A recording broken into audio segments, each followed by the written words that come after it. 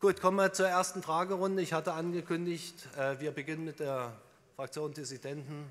Herr Schulte-Wissemann, bitte schön. Sehr geehrter Herr Donhauser, es geht um äh, Wohngeld und Wohngeldanträge. Am 2. April berichtete die Sächsische Zeitung, dass dem Sozialamt 7.624 offene Wohngeldanträge vorlagen, es trotz Personalzuwachs noch immer unbesetzte Stellen gäbe und durch durchschnittliche Bearbeitungszeit eines Antrags rund drei Monate dauere. Meine erste Frage lautet daher, wie ist der Bearbeitungsstand zum heutigen Tag? Dankeschön. Die Beantwortung übernimmt Frau Bürgermeisterin Dr. Kaufmann.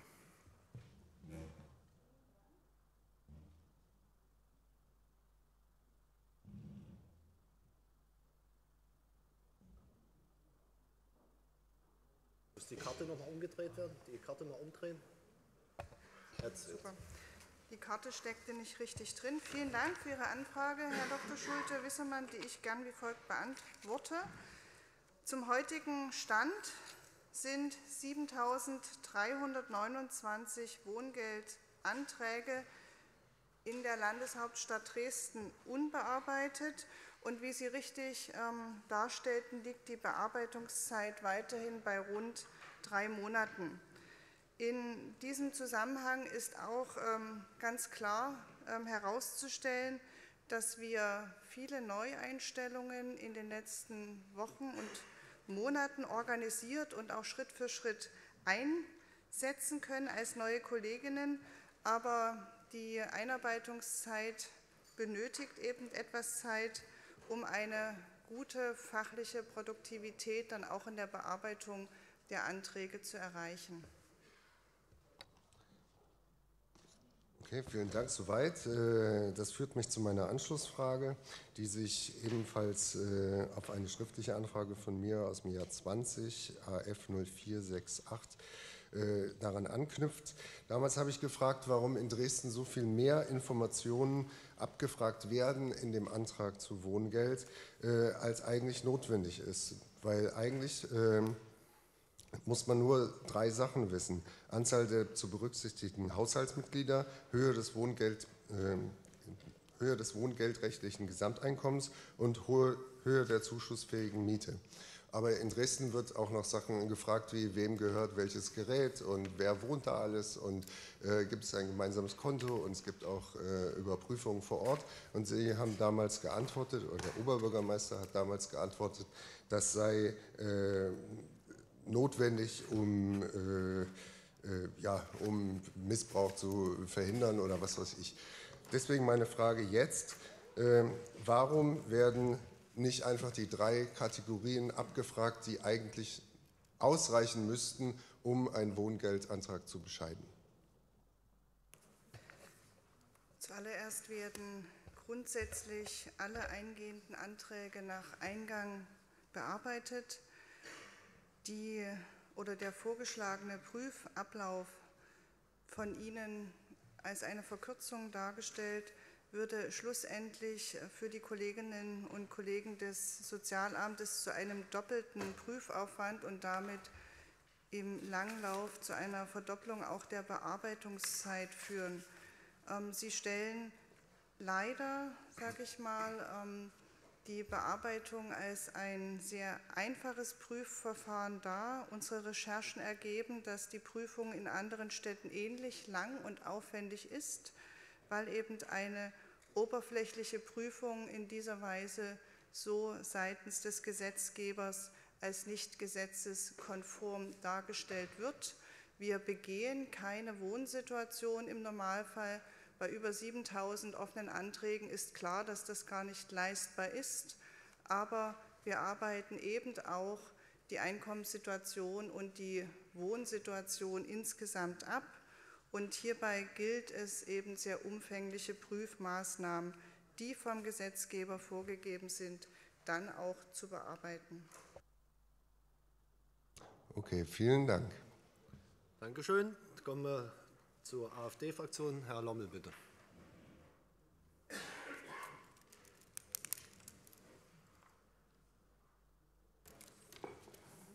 Sehr geehrter Herr Erster Bürgermeister, Mit, der Mitvertrag zwischen der Landeshauptstadt Dresden, vertreten durch die BDR GmbH und den Eigentümern des Erlebnisbades Ilbermare im Dresden-Gorbitz soll im März 2025 auslaufen. Bezüglich der zukünftigen Nutzung des Bades ergeben sich wie folgende Fragen. Erstens. Fanden oder finden bereits Gespräche mit den Eigentümern über die Zukunft des Bades statt? Welche Planung seitens der Landeshauptstadt Dresden liegen für das Erlebnisbad Elbe-Mare vor? Welche Planungen der Landeshauptstadt Dresden gibt es insbesondere mit dem Blick auf das Schulschwimmen sowie Schwimmkurse, wenn das Bad geschlossen würde? Mit welchen Investitionskosten rechnet die Landeshauptstadt Dresden derzeit für einen Weiterbetrieb des äh, Elbe Erlebnisbades Elbe-Mare? Und schließlich in der Landeshauptstadt Dresden wird insgesamt mehr Wasserfläche zum Schwimmen benötigt, unabhängig von der konkreten Zukunft des Elbe-Mare. Bekennt sich die Stadtverwaltung dazu, dass im Stadtteil Gorbitz auch in Zukunft ein Schwimmbad den Einwohnern zur Verfügung steht? Vielen Dank. Dankeschön.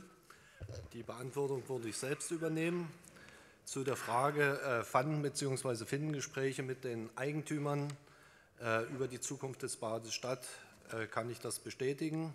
Zu diesem Thema gibt es derzeit ergebnisoffene Verhandlungen und Abstimmungen. Eine Entscheidung ist noch nicht getroffen worden. Äh, wo ich sowieso dazu sagen, es ist ja äh, Entscheidung letztendlich der Geber, äh, äh Bäder GmbH bzw. des Aufsichtsrates. Trotzdem werden wir natürlich als Stadtrat uns äh, beteiligen im Sinne, und das ist dann auch schon die äh, zweite Antwort, welche Planungen liegen für das äh, Elbermare vor? Äh, in Begriffen, dass wir natürlich die Bäderkonzeption fortschreiben. Ich hatte ja zugesagt, das soll ja heute auch dann schon beschlossen werden, aber ich hatte zugesagt, dass wir vor der Sommerpause die Fortschreibung der Bäderkonzeption im Gremienlauf haben. Das wäre jetzt ein Vorgriff, wenn ich schon daraus berichten würde, wie wir uns das äh, als Verwaltung bzw. Äh, dann äh, als Vorschlag an die BEDA GmbH vorstellen. Wie gesagt, wir vorstellen, vielleicht hat der Stadtrat ja noch ganz andere äh, Überlegungen oder will das andere Sachen noch priorisiert werden. Insofern würde ich heute die Antwort erstmal hier schuldig bleiben und darauf verweisen, dass wir dort eine Antwort geben werden, wenn es um die Fortschreibung geht.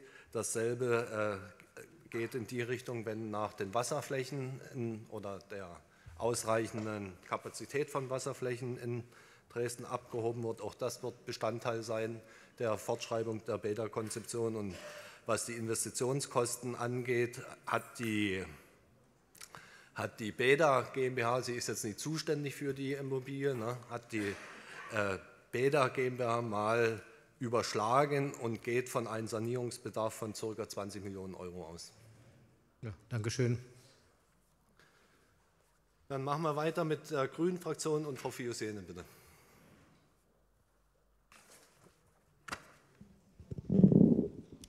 Ja, sehr geehrter Herr Abgeordneter, liebe Kolleginnen und Kollegen, es stehen ja zurzeit mehrere Führungspositionen zur Besetzung aus im Rathaus, darunter diverse Amtsleitungspositionen.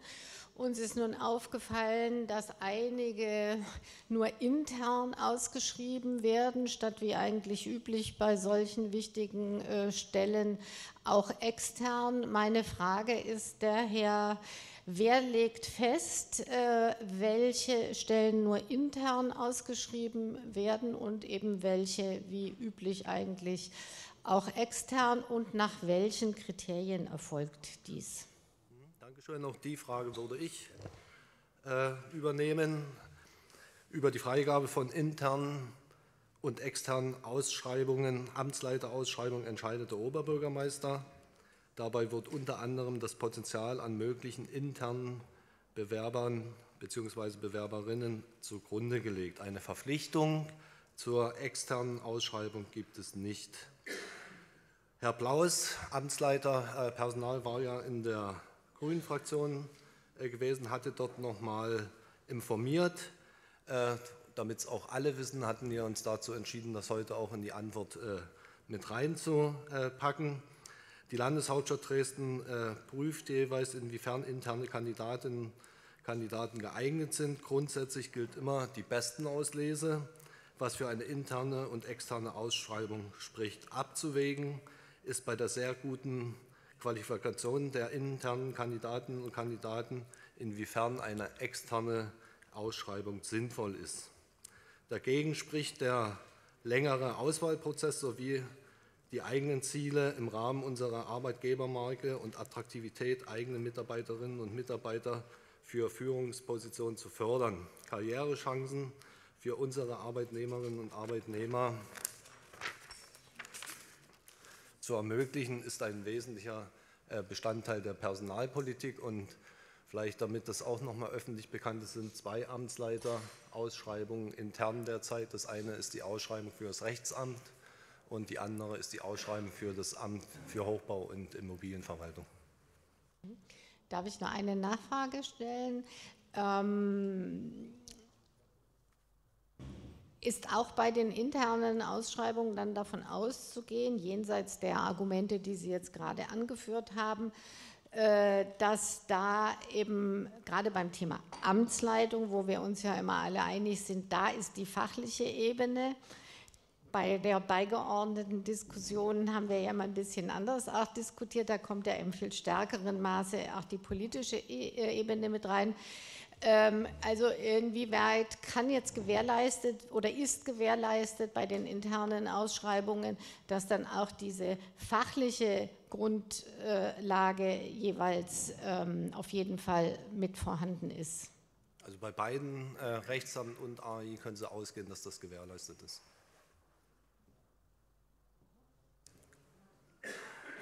Gut, kommen wir zur nächsten Frage äh, linken Fraktion, Herr, Frau Dr. Geitsch, bitte.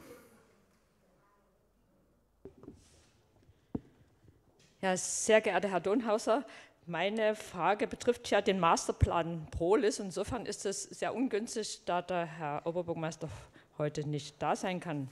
Denn das ist ja speziell das, was er für Prolis ins Leben gerufen hat. Am 28. Februar fand im Kaufzentrum Polis eine bemerkenswerte Ausstellung zur Umsetzung des Masterplanes Polis statt. An eine Pinnwand konnten BesucherInnen Wünsche an die weitere Ausgestaltung dieses Masterplanes schreiben. Deutlich waren Wünsche, die sich auf die Verbesserung der personellen Ausstattung der sozialen Arbeit im Wohngebiet oder und auf Maßnahmen zur Verbesserung der Beschäftigungssituation von Menschen, die im Wohngebiet leben, richteten, weil infrastrukturelle Maßnahmen allein machen das Leben ja noch nicht lebenswerter. Denn leider gehört das Wohngebiet Prolis zu den Stadtvierteln, in denen ein großer Teil der Kinder in Armut, von Armut bedroht sind und in dem Menschen von einer dürftigen Rente leben müssen. So nur ganz kurz zur Beschreibung. Meine Frage, was soll getan werden, um in diesen Bereichen Abhilfe zu schaffen? Was soll getan werden, um die finanzielle, die soziale Situation der in Prolis lebenden Menschen zu verbessern? Mhm, Dankeschön.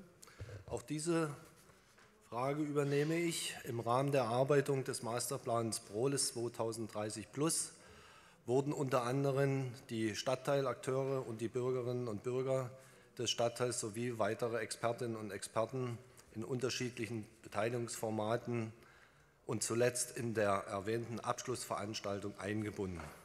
In den Diskussionen wurden Ziele, Handlungsfelder und ein Maßnahmenkatalog, der neben infrastrukturellen Maßnahmen ebenso nicht investive Maßnahmen beinhaltet, erarbeitet.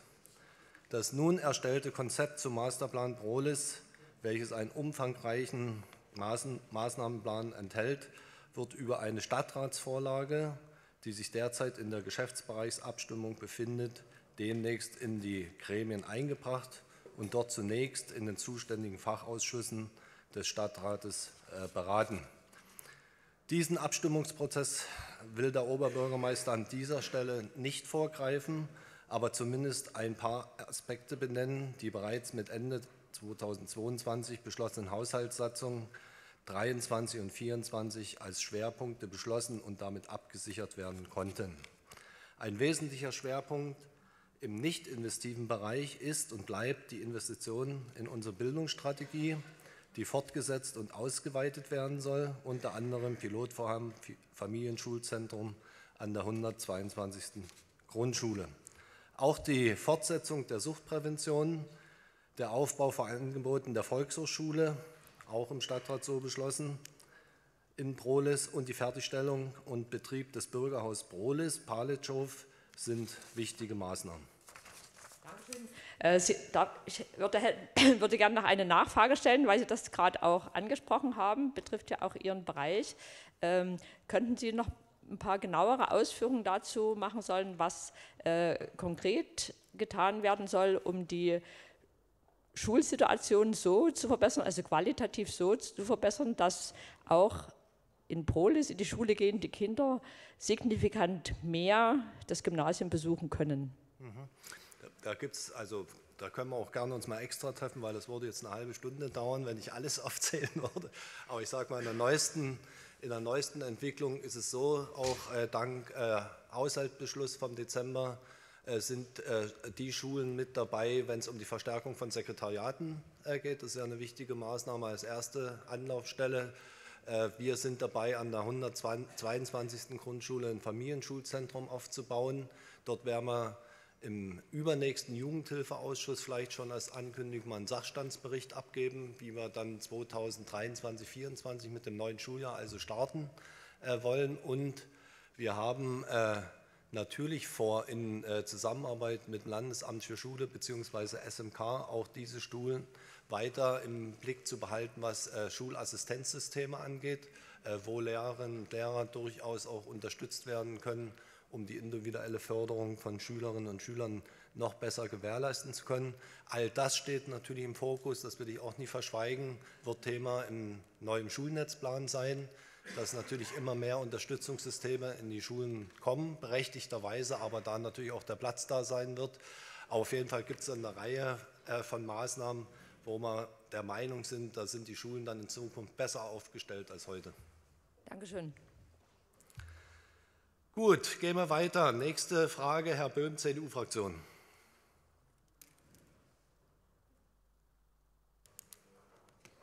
Ja, lieber Bürgermeister Jan Donhauser, ähm, mit einigermaßen Erschrecken äh, habe ich der Presse entnommen, dass es äh, beim Gymnasium Leo zu einer offensichtlich zu einer Verschiebung kommen könnte mit der Eröffnung. Äh, ich gehöre nun auch zu denen, die im Bauausschuss äh, das ziemlich schlechte Konzept von der Verwaltung einstimmig mit abgelehnt habe. Nun machen wir uns natürlich ein bisschen Sorge, dass das dazu führen kann, dass das Leo äh, erst später möglicherweise eröffnet werden kann. Und deswegen ein paar Fragen zu dem Thema. Wie schaut es mit der Baugenehmigung an? Ist es zutreffend, dass deswegen der fehlenden Baugenehmigung das äh, Gymnasium nicht äh, zeitlich wie geplant eröffnet werden kann. Was hat es für Folgen für die Baukosten und für die Schulnetzplanung? Was sind die Gründe für die Nichterteilung? Wann ist vor allen Dingen mit einer Baugenehmigung zu rechnen? Und ich tue gleich die letzte Frage noch dranhängen. Wie ist der aktuelle, aktuelle Stand zum weiteren Vorgehen hinsichtlich der Komplettgenehmigung? Also sprich, äh, was machen wir jetzt da mit der Bodenbacher? Mhm, okay, die Frage übernimmt Herr Kollege Kühn. Ja, sehr geehrter Herr Böhm, aufgrund der fehlenden Baugenehmigung kann die Betriebnahme des Gymnasiums Leo am Standort nicht wie geplant zum Schuljahresbeginn 2025-26 beginnen. Der Bauablaufplan war mit zwei Jahren für den äh, großen Schulstandort, ähm, der ging von äh, Baubeginn im März diesen Jahres aus, schon immer sehr ambitioniert. Äh, Im Finanzierungsplan ähm, ist der Rahmen des äh, Baubeschlusses so, dass ähm, eine zehnprozentige Kostensteigerung pro Jahr unterstellt ist. Derzeitig, ähm, derzeit ist die Baumaßnahme mit 62 äh, Millionen veranschlagt.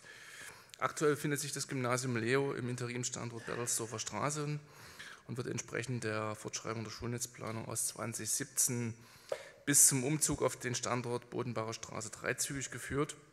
Der geplante Zeitraum am äh, Interimsstandort Berdersdorfer Weg verlängert sich entsprechend mit der Verzögerung des Projektablaufes auf der Bodenbauer und führt, mit, äh, äh, führt zu räumlichen Kapazitätsengpässen am Interimsstandort. Bei der Planung des neuen Schulstandorts Bodenbacher Straße wurde vom Geschäftsbereich Stadtentwicklung, Bauverkehr und Liegenschaften von Beginn an hingewiesen, dass dieser Standort aus verkehrlicher Sicht problematisch ist. Nach Bestätigung der Vorlage mit der Standortentscheidung Bodenbacher Straße mussten die Planungen zur Verbesserung der Verkehrssicherheit zusätzlich in den Arbeitsplan aufgenommen werden und in den Haushaltsplan. Dabei wurden zwei Wege verfolgt. Einerseits geht es um die abschnittsweise grundsätzliche Änderung der angrenzenden äh, Bodenbacher Straße, andererseits um temporäre Zwischenlösungen bis zu deren Umsetzung, damit eben der Schulbetrieb aufgenommen werden kann. So, es ist dann äh, so gewesen, dass ähm, wir beim Planungskonzept für den Ausbau der Bodenbacher Straße eine zusätzliche Flächeninanspruchnahme, Baumfällung und Eingriff in private Grundstücke weitgehend äh, vermeiden wollten, um eine zusätzliche Unterstützung, äh, zusätzliche Umsetzung zu unterstützen. Das bedeutete einen vergleichsweise kurzen Zeitraum zwischen Inbetriebnahme der Schule und Umbau der Bodenbacher Straße. Diese Planung führte allerdings zu einer grundlegenden Veränderung der Verkehrslage mit der gemeinsamen Führung des ÖPNV und des Kfz-Verkehrs. Ähm, da sich daraus ergebenden Folgen im äh, Ausschuss für Standwegen und Bau äh, dafür für diesen Lösungsansatz keine Akzeptanz gefunden hat, äh, der ja in der Umsetzung nicht mit dem Planfeststellungsbeschluss verbunden wäre, sondern mit, ähm, auf Basis des Bebauungsplans, ist eine Überarbeitung der Planung erforderlich. Das beinhaltet äh, im Ergebnis der Diskussion im Bauausschuss die Gleislagen und ähm, die Straßenfahrbahnen weitgehend zu belassen und eine Verbreiterung für den Rad- und Fußverkehr äh, mit der Folge von Grunderwerb der eben über den Bebauungsplan hinausgeht. Zudem wird die bisherige Planung hinsichtlich Verbesserungsmöglichkeiten für die Straßenbahn geprüft, Stichwort äh, ÖPNV beschleunigen. Damit ist anzunehmen, dass der Zwischenzustand ähm, in Betriebnahme mit Interimsmaßnahmen und Ausbau der Bodenbacher Straße länger dauert als bisher geplant. Vor diesem Hintergrund sind die bisher vorgesehenen temporären Maßnahmen für den Zwischenzustand Zustand zu überprüfen, da der Zwischenzustand mit Aussicht auf eine Umbaugrundlage der Baugenehmigung ist. Die Baugenehmigung kann erteilt werden, wenn die für diesen nun längeren äh, dauernden Zwischenzustand die notwendigen Maßnahmen abgestimmt sind. Die, die dafür notwendigen Untersuchungen werden bis Ende April äh, ein Ergebnis liefern, wenn die dort ausgewiesenen Interimsmaßnahmen bestätigt werden und mit hinreichender Sicherheit davon ausgegangen werden kann, dass die Interimsmaßnahmen zum Zeitpunkt der Inbetriebnahme des Gymnasiums umgesetzt werden, ist äh, die Erteilung der Baugenehmigung in der 19. Kalenderwoche möglich. Das ist die erste Maiwoche zur ähm, Ausbauplanung der Bodenbacher Straße werde ich im Übrigen eine Arbeitsgruppe mit unter Beteiligung aller Stadtratsfraktionen einrichten, damit wir zügig eine mehrheitsfähige Ausbauplanung auf den Weg bringen können. Kurze Nachfrage, Herr Bürgermeister. Gehe ich jetzt, habe ich Sie jetzt richtig verstanden? Sie haben ja viel gesagt mit vielen blumigen Worten, aber ich sage mal, terminlich, terminlich äh, können wir jetzt damit rechnen, dass also in der ersten Maiwoche dort diese Baugenehmigung kommt und dass dann sozusagen das Gymnasium Leo spätestens zu, zum darauf folgenden äh, Schulhalbjahr dann äh, ans Netz gehen kann? Oder ist das jetzt immer noch von Unwägbarkeiten umfasst? Also zum derzeitigen äh, Zeitpunkt gehe ich davon aus, dass ähm, die zusätzlichen Interimsmaßnahmen, da geht es um sichere Querungshilfen beispielsweise, äh, soweit äh, in der nächsten Woche bei der finalen Beratung bestätigt werden. Und wenn das der Fall ist, wovon ich jetzt erstmal ausgehe, dann steht eine Erteilung der Baugenehmigung darauf folgenden Woche äh, nichts entgegen. Ähm, der ähm, Bauablaufplan mit zwei Wochen, äh, mit zwei Jahren Baula, äh, Bauzeit für diesen großen Schulstandort ist ja sehr ambitioniert. Ähm, wenn ähm, es so äh, wird, wie ähm, ich äh, äh, signalisiert habe, gehe ich davon aus, dass die Stesat, äh, wenn es nicht Überraschungen im, beim Bauen gibt, in der Lage ist, dann zum Halbjahr sozusagen ähm, also im Winter 26, dass die Schule dann in Betrieb genommen werden kann. Dann muss aber im Bauablauf ähm, sozusagen alles glatt gehen. Ne? Aber vom Prinzip her, vom bisherigen Bauablaufplan, äh, denke ich, ist das möglich, wenn auch gleich anspruchsvoll. Vielen Dank für, die, für den Zeitpunkt der Baugenehmigung. Da werden wir Sie beobachten. Da hoffen wir, dass das funktioniert. Danke. Also ich persönlich erteile die Baugenehmigung nicht, aber ich informiere regelmäßig im Ausschuss gerne. Okay, schönen Dank. Kommen wir zur SPD-Fraktion, Herr Drews.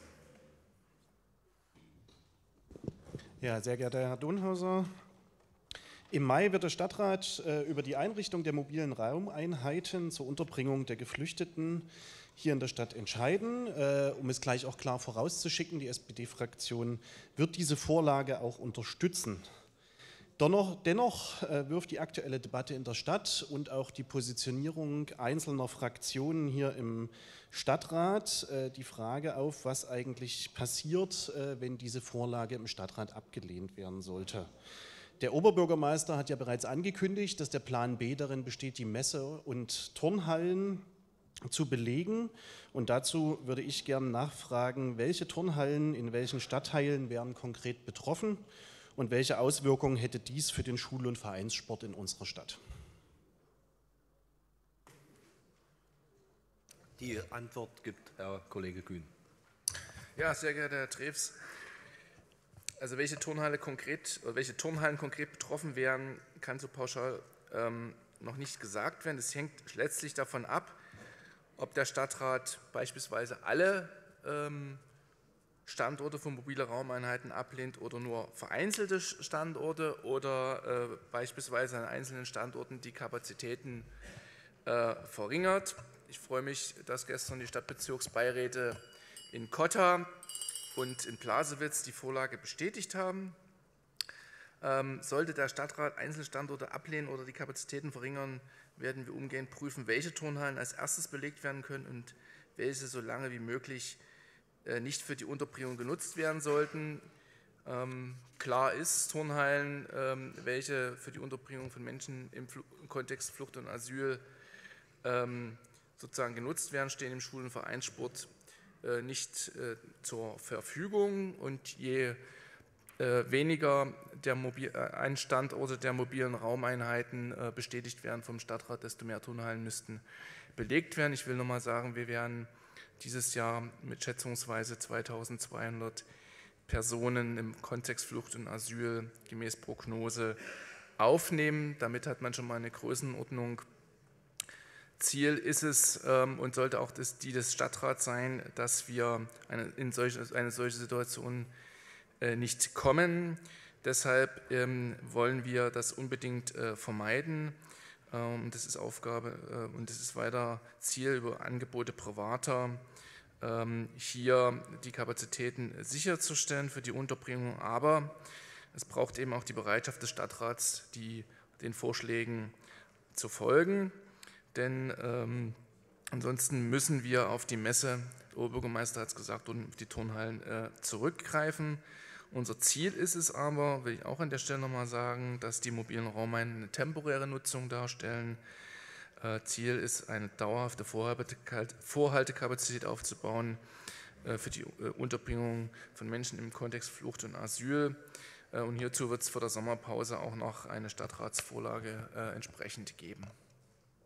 Ja, vielen Dank äh, für die Ausführungen, die jetzt nicht wirklich eine Antwort auf die Frage war, weil die Frage war eigentlich sehr eindeutig formuliert, nämlich was passiert, wenn die Vorlage in Gänze abgelehnt wird ähm, und nicht, wenn irgendwas reduziert wird oder so. Deswegen bin ich äh, von der Antwort schon äh, ja ein bisschen enttäuscht und würde doch sehr stark auch äh, anregen, äh, dass, wir, dass der Stadtrat zumindest vor der Entscheidung am 11. Mai auch eine klar, klar darüber informiert wird, wenn diese Vorlage abgelehnt wird, welche konkreten Konsequenzen das hätte, weil das gehört zur Ehrlichkeit dieser Debatte dazu. Und da Sie es heute nicht gesagt haben, sollten Sie es vielleicht in den nächsten drei Wochen dann doch uns zumindest auch nochmal schriftlich nachreichen.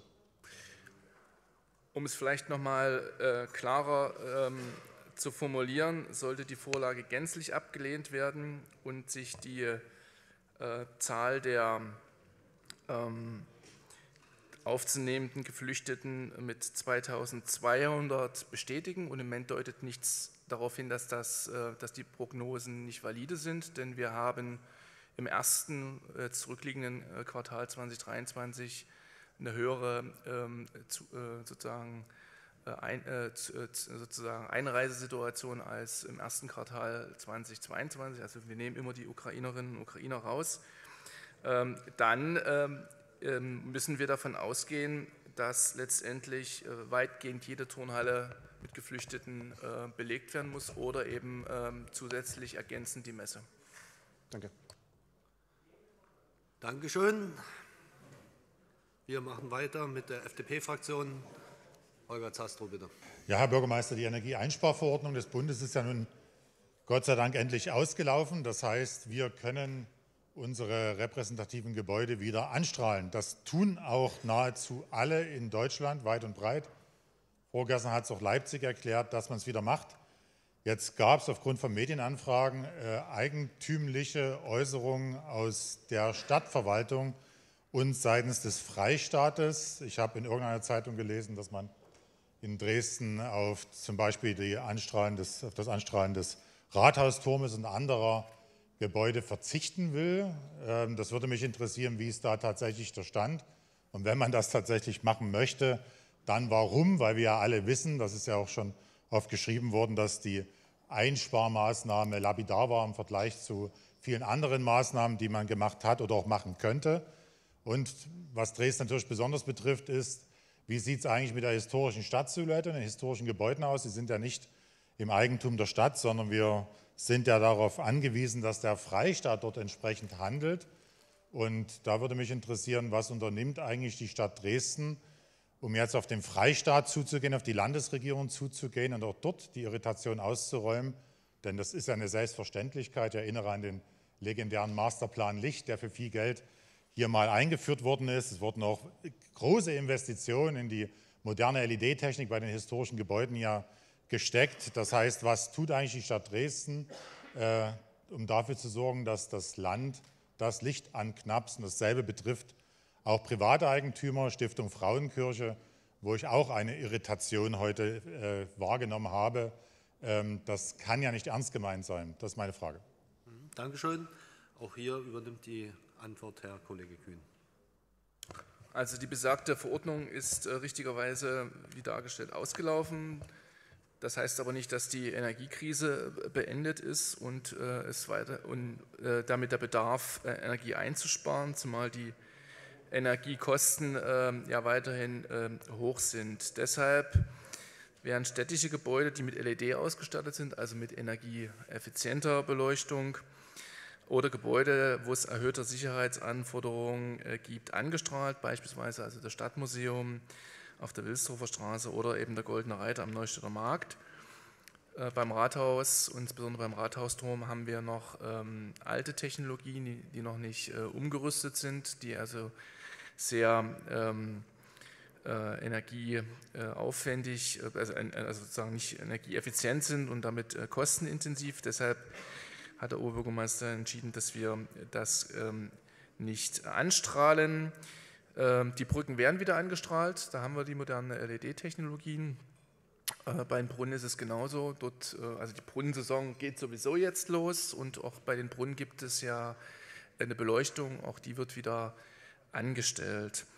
Ähm, der Freistaat Sachsen und die Stiftung Frauenkirche entscheiden das selbstständig ähm, über ihre Außenwirksamkeit ihrer Gebäude und dem verbundenen Energieverbrauch. Es ist derzeit nicht vorgesehen, diesbezüglich an die Organisationen heranzutreten weil es in deren äh, Entscheidungsgewalt liegt.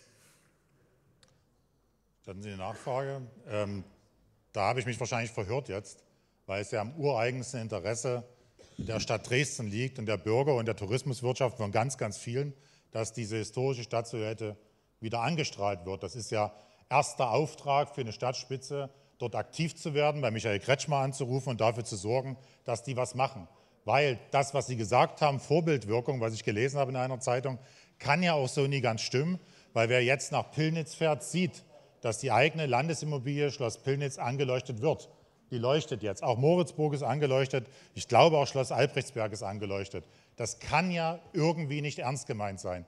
Und da frage ich jetzt meine Stadtspitze, was tun Sie dafür, damit wir in dieser Stadt wieder vernünftige Situationen bekommen, für den Tourismus, aber auch für die Menschen, glauben Sie es mir, ist das so, ist das ein wichtiges Signal, was wir auch dringend brauchen nach dieser schwierigen Zeit, die hinter uns liegt.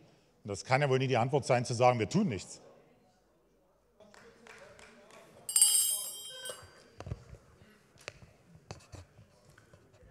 Ich will nur mal sagen, dass das äh, die ich wiederhole mich, dass es die Entscheidungen ähm, der, äh, des Freistaats Sachsen sind, beziehungsweise der Stiftung Frauenkirche. Und wenn ich äh, zum Hörer äh, greifen würde und mit, mit, Michael Kretschmer sprechen würde, würde ich jetzt äh, beispielsweise dringende Fragen wie die Finanzierung der Unterbringung von Flucht und Asyl oder beispielsweise die ÖPNV-Finanzierung äh, thematisieren, weil das für den kommunalen Haushalt und für die Herausforderungen, die wir als kommunale Pflichtaufgabe haben, die weit dringlerischen Herausforderungen sind, muss ich so klar sagen. Okay, okay. Sie sind überlastet, ich nehme es zur Kenntnis. Dann werden wir es anders klären. Keine Angst. Danke. Dann äh, schönen Dank und zum Abschluss der zum Abschluss der ersten Fragenrunde Fraktionen Freie Wähler, Freie Bürger, Herr Genschmann, bitte. Sehr geehrter Herr Bürgermeister, am letzten Wochenende gab es im Geschäft auf der Prager Straße eine Verfolgungsjagd zwischen dem Sicherheitsdienst des Geschäftes und einer mit Waffen, Messern bewaffneten Gruppen von Jugendlichen. Von Einzelhändlern, Citymanagement und Dresdner erhält man ähnliche Erfahrungsberichte und Einschätzungen. Die Kriminalität auf der Prager Straße und deren Umfeld ist deutlich gestiegen. Organisierte Gruppen von Jugendlichen und Erwachsenen sind auf Raubzügen und, und sich sind immer häufiger mit Bessern bewaffnet. Auch polizeiliche, die polizeiliche Kriminalitätsstatistik wird die äh, Prager Straße sowie die komplette Bereich rings um die City-Zentrum-Galerie äh, als Kriminalitätsschwerpunkt aufgeführt. Dazu meine Fragen. Welche konkreten Maßnahmen werden derzeit von städtischer Seite im Zusammenhang mit der Polizei unternommen, um die Kriminalität in der Innenstadt zu senken und somit die Sicherheit der Arbeitnehmer, Kunden, Anwohner und Besucher zu erhöhen? Ist eine Waffenverbotszone im Bereich der Prager Straße und Umsetzung umsetzbar, um die Sicherheit zu erhöhen? Und wenn nein, aus welchen Gründen nicht? Zweitens, wie viele Stellen hat das Ordnungsamt? Wie viele Mitarbeiter hat das Ordnungsamt aktuell besetzt? Wie viele Mitarbeiter sind konkret auf der Prager Straße, um die Sicherheit der Dresdner zu gewährleisten? In der Haushaltsdebatte stimmte der Stadtrat im letzten Jahr mehrheitlich eine Aufstockung der Mitarbeiter des Ordnungsamtes um 20 Mitarbeiter zu. Wie viele dieser Mitarbeiter werden konkret eingesetzt, hier speziell auf der Prager Straße und im weiteren Umfeld, um Sicherheit und Ordnung zu sicher, äh, sicherzustellen. Ließ sich, ließe sich dadurch die schon lange von der Politik versprochene Citystreife wieder reanimieren? Dankeschön. Die Antwort übernimmt Frau Kollegin Jenigen. Sehr geehrter Herr Stadtrat Genschmann, danke für Ihre Frage. Ich schicke voraus, ich werde das jetzt zusammenfassend beantworten, um die Zeit nicht zu überdehnen, und Sie kriegen es gerne auch die Zahlen schriftlich.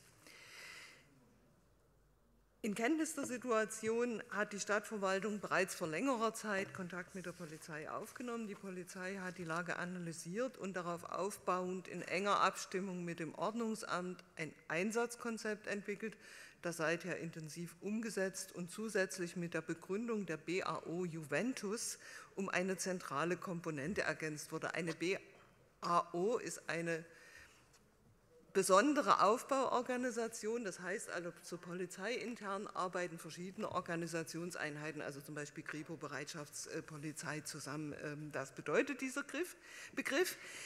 Dieses beinhaltet neben der intensiven polizeilichen Ermittlungsarbeit bei uns auch eine enge Zusammenarbeit mit dem Jugendamt, weil es eben um Jugendkriminalität geht. Mit Blick auf die langfristige stadtplanerische Entwicklung gab es zudem im Herbst vergangenen Jahres eine Ämterbegehung, um insbesondere auch aus der Perspektive der baulichen Kriminalprävention, also der Aufwertung, des Wien, den Wiener Platz und sein Umfeld in Blick zu nehmen, unter anderem durch Begrünung, Umgestaltung, Pflanzen. Das Thema Sicherheit ist seither ein Teilbereich, der im Rahmen der Taskforce Innenstadt ressortübergreifend von der Stadtverwaltung vertieft in den Blick genommen wird.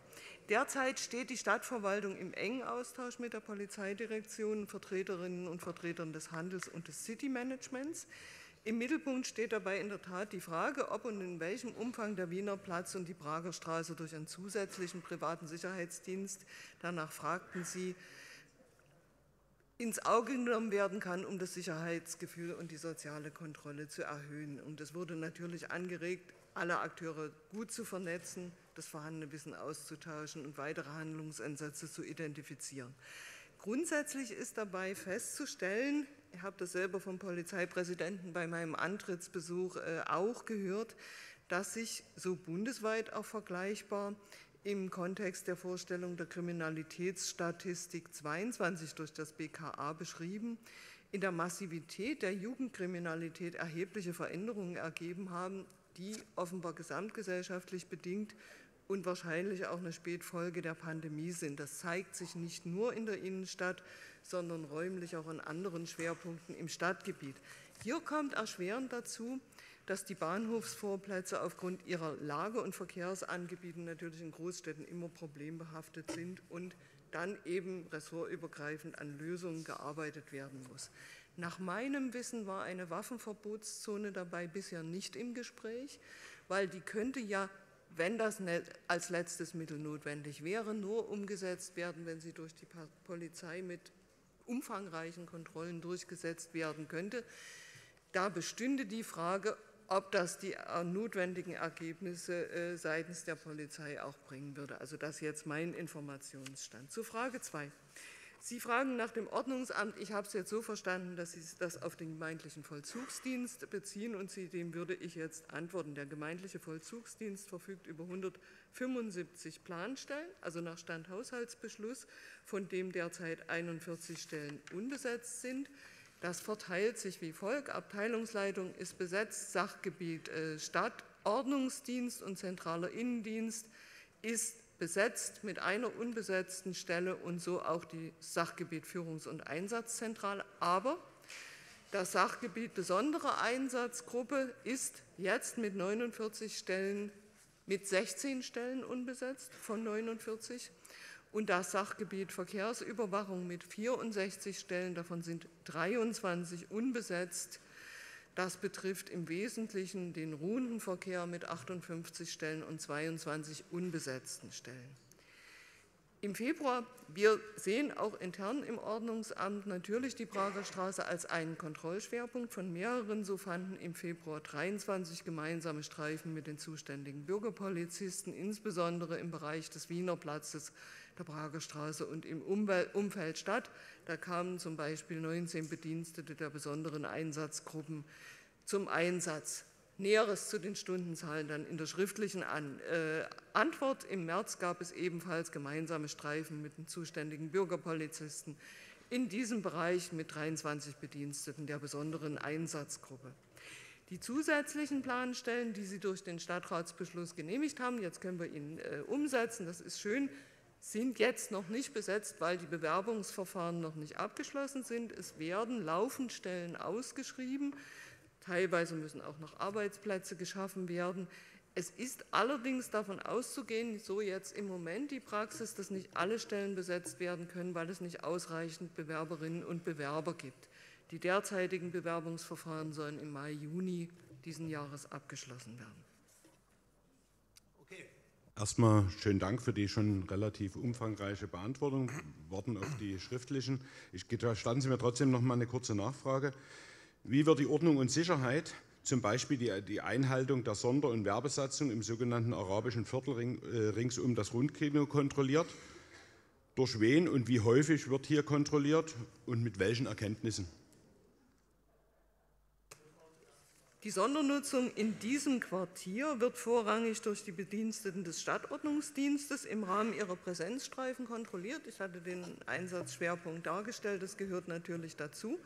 Auch die Bediensteten der besonderen Einsatzgruppe kontrollieren das mit. Etwaige Verstöße werden äh, natürlich zur Anzeige gebracht und über Verstöße wird in dem Fall das zuständige Straßen- und Tiefbauamt informiert. Spezielle Erkenntnisse zu diesem Quartier sind in der Stadtverwaltung nicht bekannt. Dankeschön.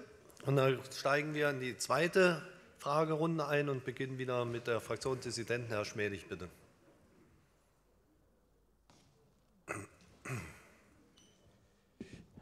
Sehr geehrter Herr Donhauser, ähm, ich frage zur Transparenz im Zusammenhang mit Stadtratsbeschlüssen und die Einhaltung derselben.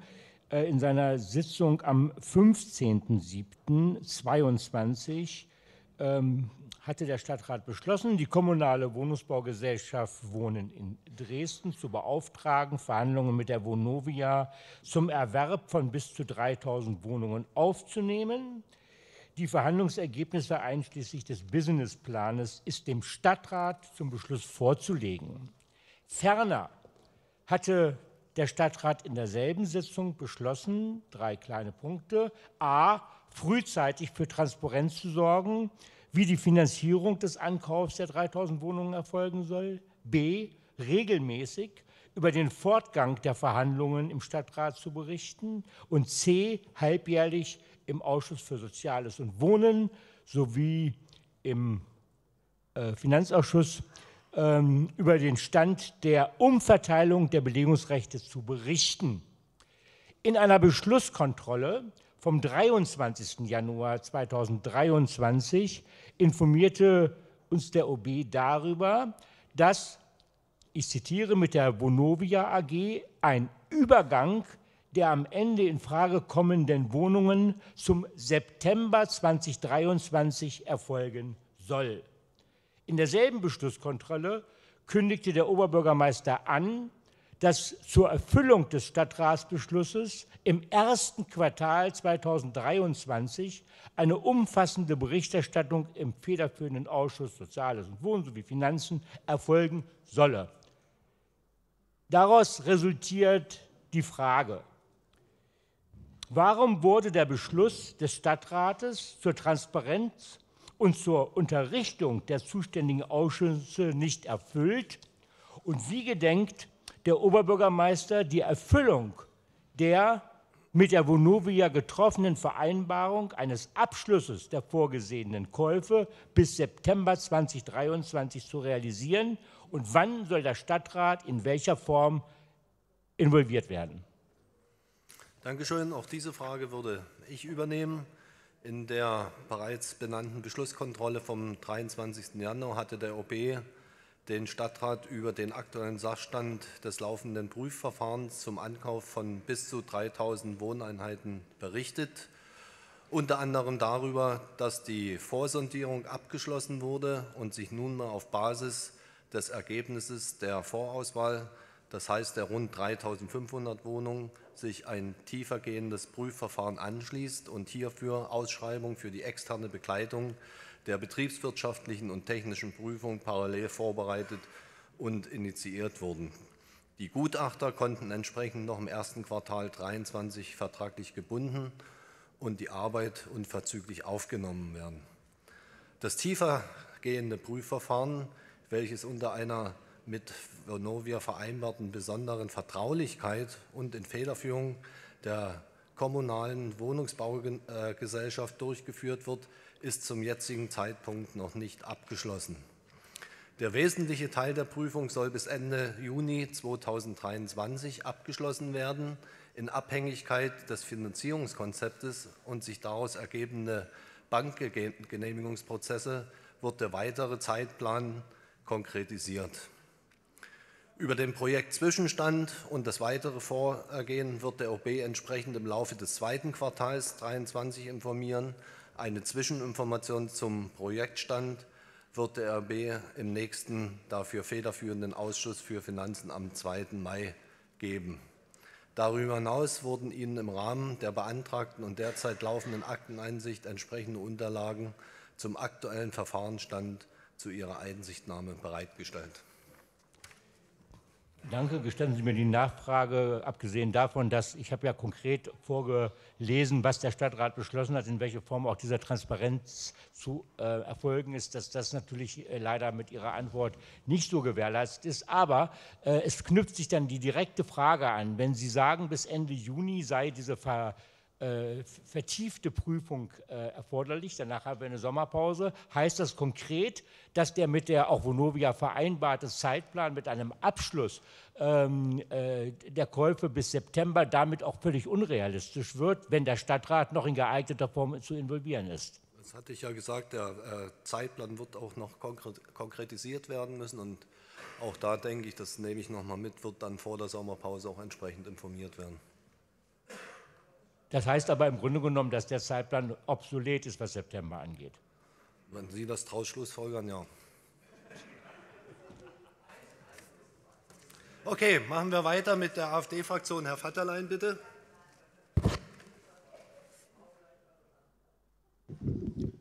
Sehr geehrter Herr Bürgermeister, mit der Vorlage V 2082 aus 23 Unterbringung asylsuchender Menschen, Standorte zur Errichtung von Unterkünften in modularer Bauweise, mobile Raumeinheiten sollen an neun Standorten in Dresden Gemeinschaftsunterkünfte für Asylbewerber entstehen. Dazu bitte ich um Beantwortung folgender Fragen. Erstens, wie lange sind die Mietlaufzeiten für die anzumietenden Container? Stimmt es, dass die Container für zehn Jahre angemietet werden, die Asylstandorte aber nur für zwei Jahre vorgesehen sind? Zweitens, wann und wie ist die Ausschreibung für die Container erfolgt? Und drittens, erfolgt für die Schaffung der Gemeinschaftsunterkünfte für Asylbewerber ein Rückgriff auf die bereits vorhandenen Schulcontainer? Dankeschön. Hier übernimmt Kollege Kühn. Sehr geehrter Herr Federlein, eine Anmietung von zehn Jahren von mobilen Raumeinheiten ist nicht vorgesehen. Es erfolgte auch noch keine Anmietung von Containern. Äh, die Laufzeit der jeweiligen Mietverträge wird sich an den jeweiligen Standort konkreten bauordnungsrechtlich zugelassenen Nutzung orientieren. Ähm, es gab auch noch keine Ausschreibung, da die Standorte und damit der Leistungsumfang noch nicht feststehen. Die Vorlage ist ja bekanntlich noch gegenständlich im federführenden Ausschuss nächste Woche und am 11. Mai im Stadtrat. Sofern sich vorhandene nicht in Nutzung befindliche Container grundsätzlich für eine Verwendung und den Einsatz im Kontext der Herstellung der besagten Vorlage benannten Standorten einigen, also die Schulcontainer, die Sie ansprachen, wird diesem konkreten Einzelfall äh, zu prüfen sein und zu beurteilen. Aber hierzu liegen jetzt im Moment noch zum jetzigen Planungsstand noch keine Erkenntnisse vor. Wir befinden uns ja in der Phase der Vorplanung. Vielen Dank. Trotzdem noch eine Nachfrage, wenn ich Sie richtig verstanden habe. Heißt das, dass wenn die Ausschreibung erfolgt, erfolgt die Anmietung dann nur für zwei Jahre? Fragezeichen.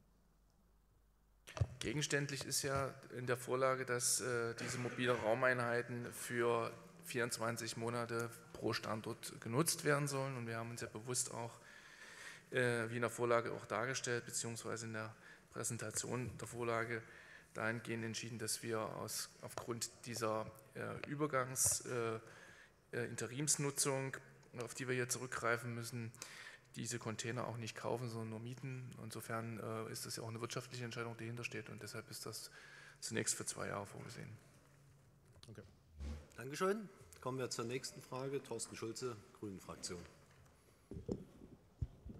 Sehr geehrter Herr Bürgermeister, meine Frage äh, richtet sich oder befasst sich mit der Erfüllung des gesetzlichen Bildungsauftrages in unseren Dresdner Kitas. Im Gesetz über die Kindertageseinrichtungen oder auch kurz äh, sächsisches Kita-Gesetz wird unter Paragraph 2 in Aufgaben und Zielen im ersten Absatz formuliert. Ich zitiere: Kindertageseinrichtungen und Kindertagespflege begleiten, unterstützen und ergänzen die Bildung und Erziehung des Kindes in der Familie. Sie bieten dem Kind vielfältige Erlebnis- und Erfahrungsmöglichkeiten über den Familienrahmen hinaus. Sie erfüllen damit einen eigenständigen alters- und entwicklungsspezifischen Bildungs-, Erziehungs- und Betreuungsauftrag im Rahmen einer auf die Förderung der Persönlichkeit des Kindes orientierten Gesamtkonzeption. Der sächsische Bildungsplan ist die Grundlage für die Gestaltung der pädagogischen Arbeit in den Kindertageseinrichtungen und in der Kindertagespflege diese wird vom Staatsministerium für Kultus erstellt und weiterentwickelt. Soweit die gesetzliche Grundlage. Wir äh, diskutieren momentan ja die Fortschreibung äh, des Kita-Fachplanes. Und in dieser Fortschreibung des Fachplanes Kindertageseinrichtungen und Kindertagespflege für 2023-2024 wird unter anderem berichtet, die Diskrepanz zwischen der Erwartung an die pädagogische Arbeit und den tatsächlichen Umsetzungsmöglichkeiten steigt immer weiter. Und weiterhin eine zweite Aussage, es fehlt an Zeit, Kinder durch strukturierte Lernbekleidung zu unterstützen und es fehlt an Zeit, Kinder in herausfordernden Situationen Handlungsoptionen zu vermitteln. Das ist eine sehr harte Kritik und diese Diskrepanz von Anspruch und Alltag in der fehlenden Zeit für die Kinder selbst liegt in der Fach-Kind-Relation, die laut Aussage im Fachplan weit unter dem gesetzlichen Betreuungsschlüssel liegt. Auch die durchgeführten Elternbefragungen kommen zu dem Ergebnis, dass in vielen Einrichtungen ein schlechter Betreuungsschlüssel und ständiger Personalmangel herrscht. Soweit die Aussagen. Jetzt meine Anfrage dazu. Wie plant der Eigenbetrieb Kita und das Amt für Kindertagesbetreuung die Personalstruktur und die an die gewachsenen Aufgaben und diese Diskrepanz von Anspruch bzw. gesetzlichem Bildungsauftrag und dem Alltag als Betreuungsort in den kommenden Jahren anzupassen und die mittlerweile fehlenden Grundkompetenzen bei unseren Kindern beim Eintritt in die Grundschulen künftig wieder zu vermitteln. Ich habe dann noch zwei Nachfragen dann dazu. Dann, äh, ja, ich weiß nicht, Herr Kiesling ist, glaube ich, gerade nicht dran betreten. Okay, die Frage äh, übernehme ich. Also grundsätzlich nochmal in der Pauschalität, was fehlende Grundkompetenzen angeht, kann ich so nicht unterschreiben. Äh, es gibt äh, Kinder, äh, denen es aus bekannten Gründen viel, viel schwerer äh, fällt, äh, Kompetenzen zu erwerben. Und da bin ich auch der Meinung, müssen wir auch weiter dranbleiben, um die Bedingungen, ich sage hier nur Bildungsstrategie bzw. Kita hoch 2, so weiterzuentwickeln, dass wir dort mit einem verstärkten Personaleinsatz, den uns ja dankenswerterweise auch der Stadtrat wiederum bestätigt hat, dafür zu sorgen, dass eben äh, individuelles äh, Förderung äh, auch gewährleistet ist. Grundsätzlich müssen wir aber feststellen, und das war auch nochmal der Ansatz von Frau Krohmann im Jugendhilfeausschuss, als sie vortrug, werden die Anforderungen, und das ist nicht nur in der Kita so, das ist auch genauso in der Schule so, die Anforderungen an unsere Pädagogen immer höher. Insofern höher, dass wir nicht unbedingt das alleine zurückführen können, dass es bestimmte Eltern nicht mehr leisten können, äh, sondern auch darauf äh, zurückführen müssen, dass viele Prozesse in den äh, Einrichtungen laufen, insbesondere Schulen laufen, Thema Digitalisierung, die also die Pädagogen insbesondere fordern und dass es dort sehr wünschenswert wäre. Und jetzt komme ich wieder auf die Kitas und dort sind wir auch im Gespräch mit der Landesregierung, den Personalschlüssel zu verbessern. Jetzt sehe ich Herrn Bogdan da hinten. Wir reden schon sehr lange, äh, Herr Bogdan ist der Personalratsvorsitzende vom Eigenbetrieb Kita, äh, wir reden schon sehr lange äh, mit dem Land darüber, versuchen auch einzuwirken über ein SSG, was das Kita-Gesetz angeht, dass entsprechend dort Regelungen reinkommen, die es ermöglichen, dort eine Verbesserung des Personalschlüssels herzustellen. Und da ist es auch eine Aufforderung nicht nur an mich, sondern an uns alle, mit unseren Kontakten in die Landesregierung, in die Koalitionsfraktionen hinein dafür zu sorgen, äh, dass dort ein stärkeres Gewicht auf Personalstrukturen äh, gelegt äh, werden, weil das gute Kita-Gesetz des Bundes hat ja schon mal gute Voraussetzungen geschaffen, was die Unterstützung der Finanzierung der Länder angeht. Aber Länder können dann auch wieder eigenverantwortlich entscheiden, in welchem Bereich der Kitas entsprechend diese Gelder investiert werden. Also es ist eine Sache, wo wir wirklich dranbleiben müssen, damit wir nicht nur unsere äh, Pädagogen äh, überfordern, sondern dass wir auch sichern können, äh, unter dem Stichwort Bildungsgerechtigkeit, dass wir auch sichern können, dass die Startchancen für die Kinder bei Eintritt der Schule, aber auch nicht nur bei Eintritt in die Schule, sondern auch schon bei Eintritt in die Kita gerecht sind.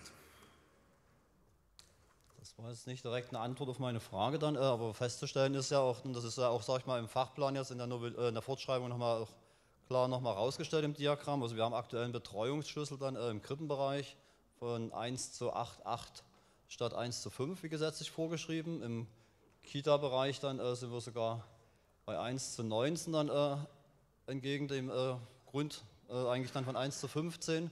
Das ist eine eigene Aussage oder das ist auch dann die eigene Planung sozusagen oder jetzt auch dann der Stadt selber dann, äh, jetzt nochmal die Nachfrage dazu dann, also wie plant der Eigen, äh, Quatsch, mit welchen Personalkosten äh, für den Kita-Bereich, also Krippe und Hort eingeschlossen, plant der Eigenbetrieb ab dem Jahre 2025 und folgende, um auch diesen Betreuungsschlüssel dann äh, wirklich, so wie er gesetzlich äh, vorgeschrieben ist, zu erfüllen und diesen Bildungsauftrag entsprechend äh, dann auch umsetzen zu können. Und ich bitte auch nochmal dann in der schriftlichen Beantwortung, das war jetzt nicht mit eingereicht, äh, wie viele Überlastungsanzeigen liegen bei dem Eigenbetrieb Kita aktuell vor und äh, welche, wie viele Hinweise oder Problemanzeigen äh, bzw. Briefe von Elternvertretungen gibt es auch aktuell. Also wir uns erreichen auch als Fraktion immer mal noch die eine oder andere Beschwerde dazu. Okay, zu den Haushaltsmitteln. Der Eigenbetrieb plant laut vom Stadtrat beschlossenen Haushaltssatzung mit einem Personalaufwand von knapp 176 Millionen Euro für das Jahr 25. Für das äh, Jahr 26 äh, beläuft sich der geplante Aufwand bereits auf 100, ca. 180 Millionen Euro und 27 auf ca. 183 Millionen Euro. Die Personalplanung erfolgt gemäß der gesetzlichen Vorgaben. Das muss ich noch mal ganz deutlich äh, äh, darstellen, weil wir sonst ja in die Gefahr kämen, dass wir die Betriebserlaubnis für die Einrichtung oder Einrichtung verlieren würden, äh, um das hier auch noch mal öffentlich äh, klarzustellen. Und ich hatte äh, bereits erwähnt. Äh, das wird man aber auch noch mal aufstruppen dann in der schriftlichen Beantwortung, was wir für zusätzliche Mittel äh, einsetzen zum Thema Handlungsstrategie, Aufwachsen in sozialer äh, Verantwortung im Rahmen der Bildungsstrategie. Und das andere wird man auch noch mal neben die äh, Überlastungsanzeigen, wird man noch mal in die schriftliche Antwort mit reinpacken. Ich denke, rechnerisch dann äh, werden Sie wahrscheinlich schon den äh, Betreuungsschlüssel erfüllen. Dann Situation ist ja aber dann, dass dort äh, nicht berücksichtigt wird, dann, dass es auch mal einen Krankenstand gibt, dass es zum Teil auch ja eine Weiterbildung braucht dann äh, und dass sozusagen nicht äh, jede Stunde dann, die jetzt im Arbeitsvertrag steht, ja direkt auch äh, am Kind sozusagen mit darf oder mit ausgeführt wird. Also ich glaube dann, also das war ja auch die Aussage von Frau Krohmann im Jugendhilfeausschuss. Aber ich glaube dann, wir müssen an dem Thema wirklich dranbleiben dann und es ist wirklich auch wichtig für unsere nächste Generation. Danke. Okay, kommen wir zur nächsten Frage. Frau Barko, Fraktion Die Linke. Ja, sehr geehrter Herr Bürgermeister, das Thema Wohngeld und die Dauer der Bearbeitung der Anträge treibt auch uns um. Ja, ähm, der massive Anstieg der Wohnkosten insgesamt macht es natürlich auch dringend notwendig, dass diejenigen Haushalte mit geringem Einkommen diesen Zuschuss schnell gewährt bekommen und dass der Antrag entsprechend auch schnell bearbeitet wird. Wir haben vorhin in der Frage schon gehört, in Medienberichten ist es auch immer mal wieder zu lesen, dass gerade ein großer Berg an unbearbeiteten Anträgen in der Verwaltung liegt und die Bearbeitungszeiten entsprechend sich über mehrere Monate ziehen. Eine digitale Bearbeitung der Anträge auf beiden Seiten. Also einerseits, dass die AntragstellerInnen den Antrag digital einreichen können, aber genauso auch auf Seiten der Verwaltung bei den Sachbearbeiterinnen die Bearbeitung digital erfolgen kann, könnte die Bearbeitung deutlich vereinfachen und beschleunigen. Daher ist meine Frage, wann wird die vollständige digitale Bearbeitung der Wohngeldanträge in der Landeshauptstadt Dresden möglich sein? Dankeschön. Die Antwort über Frau Dr. Kaufmann. Ja, vielen Dank, Frau Stadträtin Barkow, für Ihre Anfrage, die ich wie folgt beantworte. Die vollständige digitale Bearbeitung der Wohngeldanträge in der Landeshauptstadt Dresden ist erst mit Einführung der elektronischen Akte im Sozialamt im Bereich Wohngeld möglich. Gemäß der Strategie der Landeshauptstadt Dresden erfolgt damit die Einführung der E-Akte zuerst in den Ämtern die in das neue Verwaltungszentrum, das Stadtforum und ziehen werden und deren Ämter und sodann der Ämter anderer Verwaltungseinheiten. Wir rechnen mit 2025 fortfolgende Jahre. Wohngeld als Mietzuschuss kann dennoch seit Ende des Jahres 2022 zumindest über einen Online-Antrag auf www.dresden.de/wohngeld beantragt werden und auch die dazu gehörigen umfänglichen Nachweise, die uns seitens des Freistaates vorgegeben werden, hochgeladen werden. Wir haben damit für die Bürger eine Art digitaler Briefkasten geschaffen und drucken dann die Post aus, um sie später wieder einzugeben. Ein Zwischenschritt zur vollständigen digitalen Bearbeitung der Wohngeldanträge ist die Schnittstelle zwischen dem Online-Antrag Wohngeld und dem Wohngeldverfahren DIVO. Diese Art der Umsetzung versuchen wir im Jahr 2023 und damit in den nächsten Monaten zu erreichen. Vielen Dank für die Antwort. Erlauben Sie eine Nachfrage dazu? Also, dass die Antragstellung bereits seit Januar digital möglich ist, begrüßen wir sehr, zumindest für die AntragstellerInnen. Ähm, auf Seiten der Verwaltung ist es natürlich bedauerlich, dass die Anträge ausgedruckt und dann erneut eingetippt werden müssen. Sie sagten gerade, dass die Strategie vorsieht, dass im Jahr 2025 äh, das Sozialamt auch eingebunden wird in die digitale Verwaltung. Gibt es Ihrer Kenntnis nach seitens des Oberbürgermeisters in Anbetracht der aktuellen Situation, also die Wohngeldreform war ja vor ein paar Jahren noch nicht bekannt, Bestrebungen, dass man hier die Reihenfolge verändert, dass das Sozialamt früher eingebunden wird und in der Priorität einfach weiter hochgesetzt wird? Nein. Vielen Dank. Schönen Dank. Nächster Frage, CDU-Fraktion, Mario Schmidt, bitte. Ja, sehr geehrter Herr Bürgermeister, der Stadtrat hat im Dezember 2022 auf Antrag der CDU übrigens einstimmig, der Verwaltung den Auftrag erteilt, ein Toilettenkonzept für unsere Stadt zu erarbeiten. In den Gremienberatungen zu diesem Antrag betonte die Verwaltung mehrfach, diesbezüglich bereits aktiv zu sein und ein solches Konzept zeitnah zur Beschlussfassung vorzulegen. Ich glaube, man wollte uns da mal das Signal senden, dass es ja diesen Auftrag gar nicht braucht. Der Stadtrat erteilte der Verwaltung in einem ersten Schritt den Auftrag, eine Bestands- und Bedarfsanalyse für öffentliche und öffentlich zugängliche Toiletten bis zum 31.12.2022 vorzulegen. Das mag sehr kurzfristig erscheinen, jedoch sollte man meinen, die Verwaltung verfüge über derartige Daten und könne wenigstens eine Bestandsanalyse oder eine Bestandsübersicht kurzfristig zur Verfügung stellen. Seit dem Stadtratsbeschluss sind nun vier Monate vergangen. Die geforderten Informationen liegen uns bislang nicht vor. Wann wird die geforderte Analyse dem Stadtrat vorgelegt? Das ist meine erste Frage. Die zweite Frage, die alten Stadtwerbeverträge sind zum 31.12.2022 abgelaufen. Und damit verbunden war auch der Wegfall der über die Stadtmöblierung in Litfaßsäulen und an anderen Einzelstandorten finanzierten Toiletten, hier insbesondere von Behinderten-WCs. Welche Interims- und Ersatzlösungen hat die Verwaltung gemäß Stadtratsauftrag geschaffen? Wurden Standorte im Einzelfall mit dem bisherigen Anbieter Wall interimsmäßig verlängert und wenn ja, um wie viele und welche Standorte handelt es sich? Und die dritte Frage, in einem weiteren Schritt sollte die Verwaltung unter Einbeziehung der Stadtbezirksbeiräte und Ortschaftsräte, aber auch verschiedener Interessenvertretungen Bedarfe für künftige Standorte aufzeigen und daraus ein entsprechendes Toilettenkonzept erarbeiten. Aus meiner eigenen Erfahrung als Stadtbezirksbeirat in Prolis weiß ich, dass eine Einbeziehung der örtlichen Gremien noch nicht erfolgt ist. Welche Zeitschiene ist für diese Gremienbeteiligung vorgesehen? Wann können wir mit der Vorlage eines Toilettenkonzeptes rechnen, auf dessen Grundlage dann ja erst die Finanzierung und Errichtung neuer Standorte angegangen werden kann? Dankeschön. Die Antwort übernimmt Herr Kollege Kühn. Also die gewünschte äh, Bestands- und Bedarfsanalyse wurde durchgeführt. Es gibt da auch entsprechende Übersichts- und Auswertungstabellen, die kann ich Ihnen schriftlich nachreichen, weil wir sonst den weiteren Sitzungsverlauf äh, mit der Verlesung dieser Übersichten verbringen würden.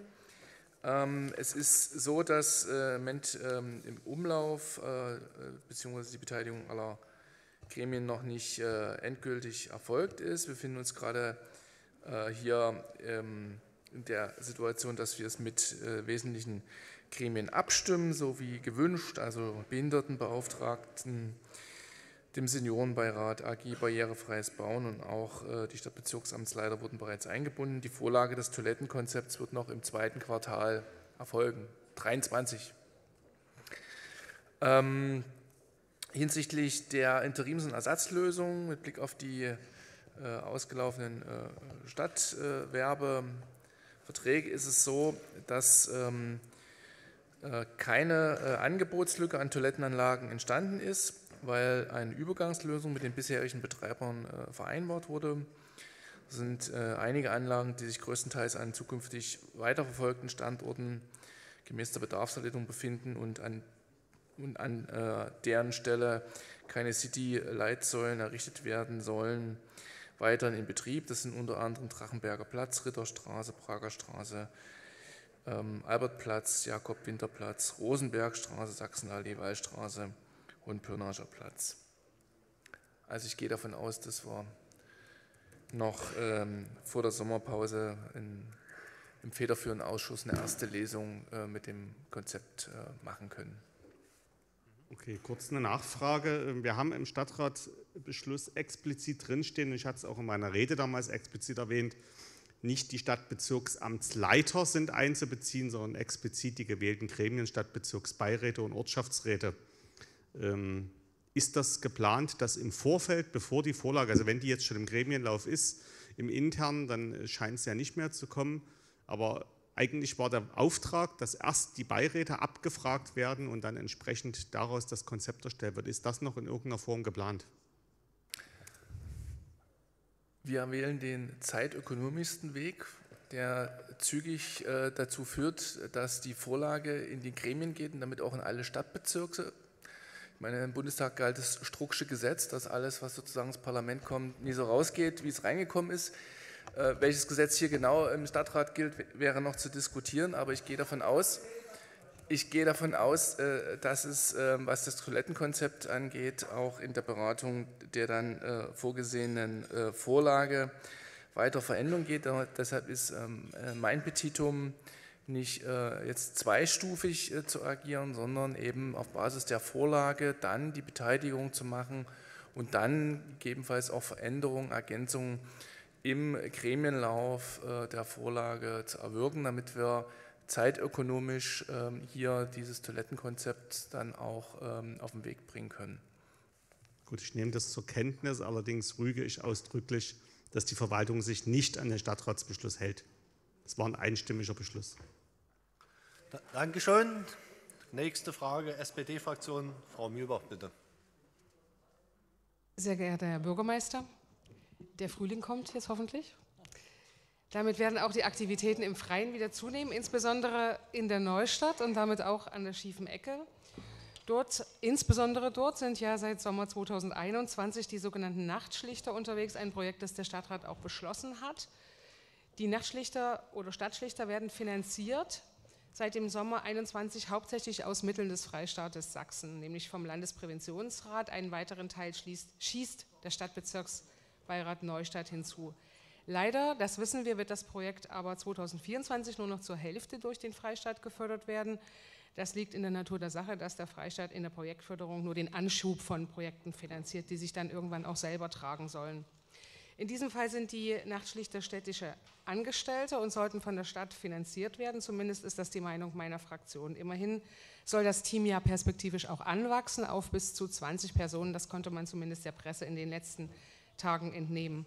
Deshalb bitte ich Sie um Beantwortung der Frage, wie gedenken Sie und aus welchem Topf perspektivisch diese städtische Aufgabe zu finanzieren?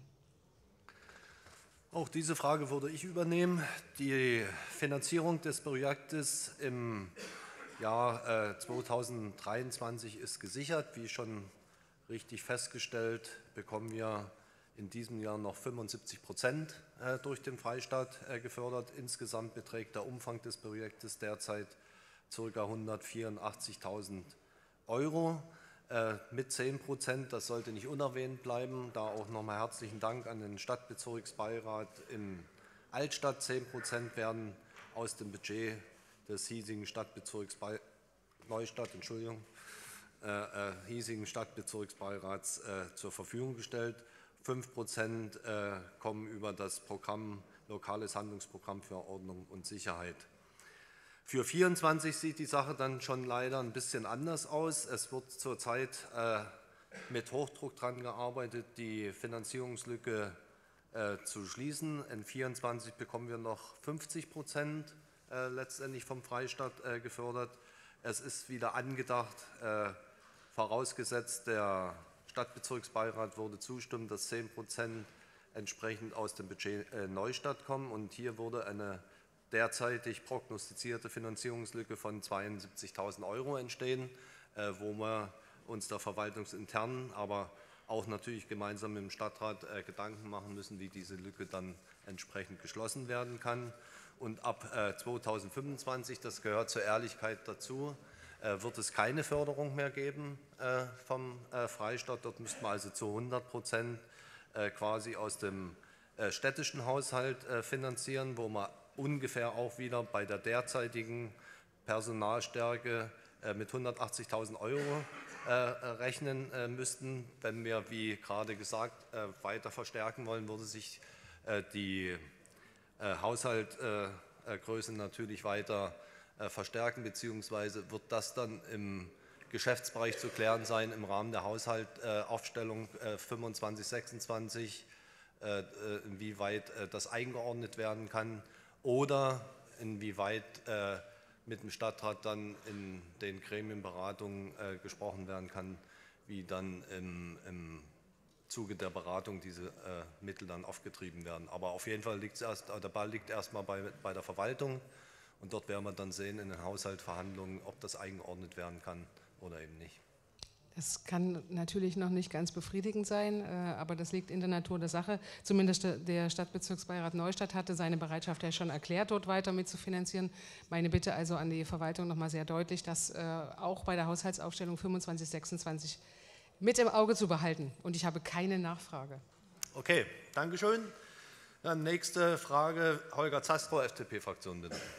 Ja, bei der Suche nach geeigneten Unterkünften für Flüchtlinge und Asylbewerber ist ja hin und wieder auch mal äh, von der Unterbringung von alleinreisenden äh, Männern im Ortsteil Marsdorf die Rede. Die Rede ist davon, dass man im dortigen ehemaligen Landgasthof 39 Plätze schaffen will. Ähm, das ist für die sehr, sehr dörfliche Infrastruktur dort oben natürlich äh, ein Problem, zumal es auch überhaupt keinerlei Infrastruktur in der Gegend gibt. Es ist schon klar, dass die Menschen da Nachfragen haben. Die Nachfragen habe ich jetzt auch. Mich würde interessieren, was genau plant denn die Stadt dort? Ähm, wie weit sind die Planungen vorangeschritten? Und dann wurde auf der Bürgerversammlung in der Dreikönigskirche angekündigt, dass das am Ende durch eine Vorlage im Stadtrat entschieden werden soll. Deswegen meine Frage, wann kommt die Vorlage, wenn denn was in Marsdorf geplant ist, zu Marsdorf in den Stadtrat? Vielen Dank. Dankeschön. Herr Kollege Kühn gibt die Antwort. Es laufen derzeit mit der Eigentümerin äh, Verhandlungen hinsichtlich äh, eines Mietvertrags. Ähm, diese Verhandlungen sind noch nicht äh, abgeschlossen. Und wenn die positiv abgeschlossen wären, würden wir eine Stadtratsvorlage äh, Ihnen vorlegen, die natürlich dann auch äh, vorsieht, dass äh, der Wirtschaftsrat Weixdorf im Gremienlauf beteiligt würde. Ähm, wann äh, die Vorlage äh, vorgelegt werden kann und ähm, hängt, wie gesagt, von den weiteren Verhandlungen, die noch nicht äh, abgeschlossen sind, ab. Insofern kann ich Ihnen da auch keinen Zeitpunkt nennen. Der Stadtrat hat im Dezember ja beschlossen, dass Objekte für die Unterbringung von Menschen im Zusammenhang mit Flucht und, äh, Kontext Flucht und Asyl, die länger als ein halbes Jahr äh, vorgesehen sind, das wäre dann in so einem, in dem Fall ähm, einer Stadtratsvorlage bedürfen. So würden wir auch verfahren, wenn die Verhandlungen dann zu einem positiven Abschluss geführt werden, wenn gleich klar ist, dass ähm, dort ähm, für dieses Objekt in jedem Fall eine Betreibung nicht durch die Eigentümerin ähm, stattfinden würde, sonst würde ein Vertreibervertrag geben. Äh, das Betreiberkonzept muss erarbeitet werden, das würde dann auch im, entsprechend im Wege einer Ausschreibung generiert werden. Also ich habe es richtig verstanden, die Entscheidung obliegt dem Stadtrat. Es ist keine Informationsvorlage für den Ortschaftsrat Weixdorf, sondern wir im Stadtrat werden äh, am Ende dann die Entscheidung darüber treffen. Und die zweite Frage, Sie verhandeln direkt mit der Eigentümerin oder über Makler?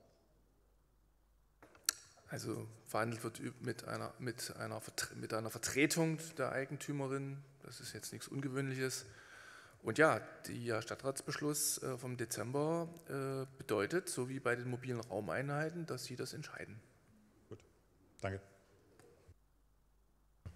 Okay, schönen Dank. Und zum Abschluss der zweiten Fragerunde Thorsten Nitsche, Fraktion Freie Wähler, Freie Bürger. Vielen Dank. Ähm, sehr geehrter Herr Bürgermeister, der Beigeordnete für Stadtentwicklung, Bau, Verkehr und Liegenschaften, Herr Kühn, hat am 13. April diesen Jahres in der Sächsischen Zeitung ein sicherlich mit dem Oberbürgermeister in inhaltlichen Positionen abgestimmtes Interview gegeben. In diesem erklärt er, wie er sich gesteuerte Verkehrspolitik vorstellt. Verkehrspolitik ist demnach barrierefrei krisenfest und sichert eine hohe Lebensqualität, etwas, was wir sicherlich hier alle im Rat zustimmen können. Aber meines Erachtens nach muss Verkehrspolitik auch auf die Individualität der Nutzer eingehen und auf ihre finanziellen Möglichkeiten.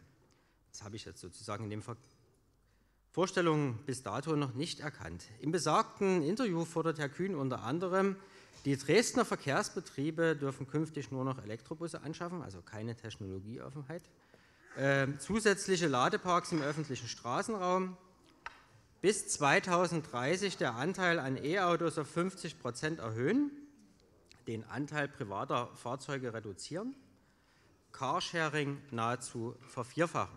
Meine Fragen hierzu. Welche konkreten Maßnahmen sind in den nächsten fünf Jahren mit diesen Zielen verbunden und welche Kosten verbergen sich hinter den einzelnen Maßnahmen? Und wo sind genau diese Kosten in der aktuellen Haushaltsplanung bzw. der mittelfristigen Finanzplanung eingestellt? Dankeschön. Herr Kühn, bitte. Ich freue mich, dass äh, meine Interviews aufmerksam gelesen und ausgewertet werden. Das begrüße ich also ausdrücklich. Äh, der Stadtrat hat ja ähm, Leitziele für den Dresdner Mobilitätsplan 2035 plus äh, beschlossen. Das ist sozusagen erstmal der Rahmen der Zielsetzung. Auf diesen Beschluss bin ich ja in dem Interview auch eingegangen. Äh, zu den einzelnen Fragen Elektrobusse. Es gibt die Clean Vehicle Directive, äh, die äh, den Rahmen gibt von Seiten der EU, sodass die Landeshauptstadt ja auch keinen Spielraum hat. Das heißt, die Anschaffung von Dieselbussen für den ÖPNV ist ab 2030 auch nicht mehr zulässig. Ähm, deswegen werden äh, bei der ohnehin erforderlichen Ersatzbeschaffung Elektrobusse bestellt. Ähm, mir ist keine andere Strategie ähm, der DVB bekannt, beziehungsweise ähm, des Aufsichtsrats, dem ich ja auch angehöre. Bei der Ladeinfrastruktur im öffentlichen Raum geht es darum, dass wir als Landeshauptstadt die Rahmenbedingungen äh, verbessern für die Elektromobilität. Das heißt, das sind zum einen die genehmigungsrechtlichen Voraussetzungen für die Erstellung von äh, Ladeinfrastruktur und wir planen auch, äh, so wie die Bundesregierung das im Masterplan Ladeinfrastruktur 2 vorsieht, dass wir eben lokale Masterpläne Ladeinfrastruktur erarbeiten äh, für Ladeparke oder Ladehubs ähm, am oder in der Nähe des öffentlichen Straßenraums. Das heißt aber nicht, dass wir sozusagen diese Infrastruktur selber errichten oder betreiben, sondern dass wir eben die Flächen dafür zur Verfügung ähm, stellen. Und ergänzend, äh, und das ist ja im Moment auch äh, der Kern der Infrastruktur, die vorhanden ist, haben wir die stadteigenen Mobi-Punkte, die ja an vielen Stellen schon Ladeinfrastruktur, sowohl normal als auch Schnelllader, ähm, vorweisen. Und da sind wir, was die flächendeckende äh, Anbindung angeht, dieser Infrastruktur auch im Bundesvergleich oder beziehungsweise mit Blick auf die derzeit vorhandenen Elektrofahrzeuge im Stadtgebiet auch gut ausgestattet. Ähm, das Klimaschutzgesetz ähm, also des Bundes äh, schreibt ja eine klimaneutrale Mobilität bis 2045 vor. Das bedeutet für Dresden ein Minus von 65 Prozent bis 2035. Der Stadtrat hat ja äh, Klimaneutralität äh, für 2035 bis 2040 beschlossen.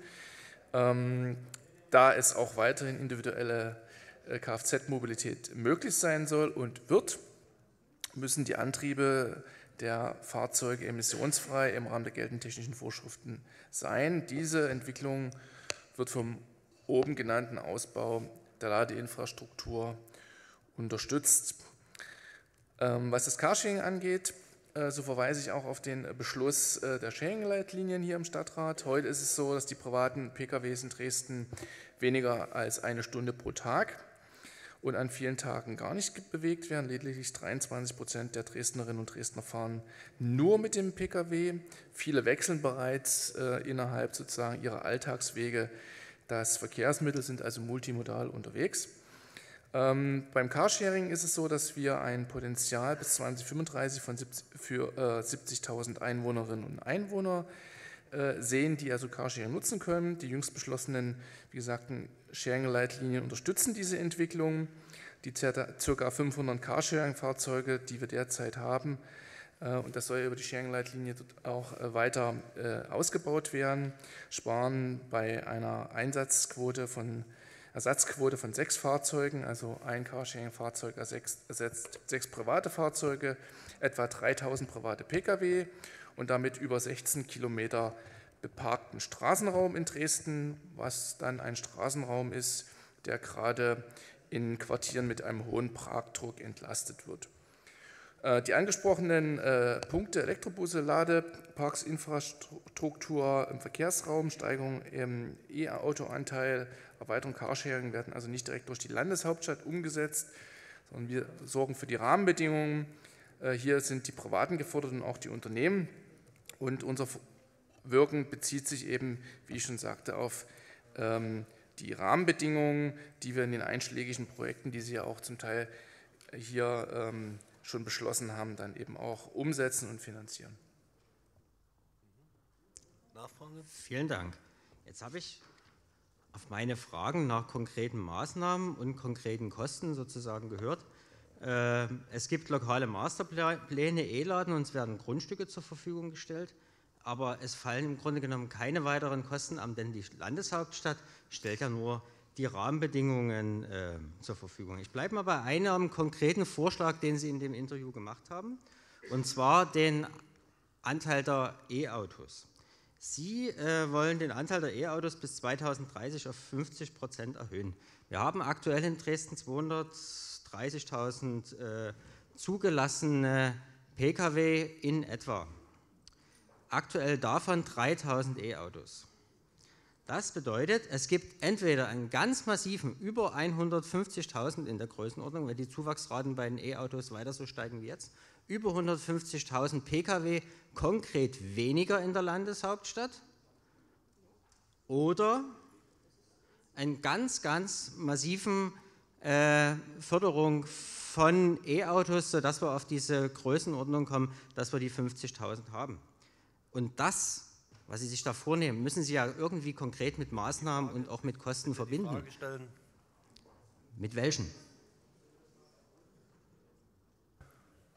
Also nochmal, ähm, der Masterplan Ladeinfrastruktur der Bundesregierung äh, fordert die Kommunen auf, lokale Masterpläne zu arbeiten. Das tun wir in diesem Jahr. Der liegt noch nicht vor.